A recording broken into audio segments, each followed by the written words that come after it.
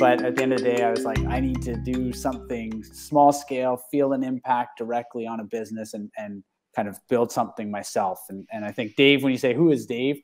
Uh, Dave's a, a builder. So I'm, I'm that person that kind of takes pieces and puts them together and connects dots. And I think that leads to kind of the thesis for today around siloed and isolation and bringing things together is I'm, I know the value of bringing pieces from different functions together. Mm-hmm. And, uh, and that's why I'm excited to chat about it today. Yeah, it's going to be.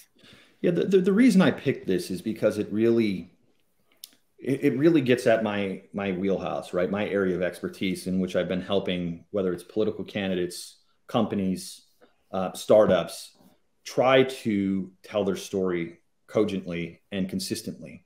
And I think um, as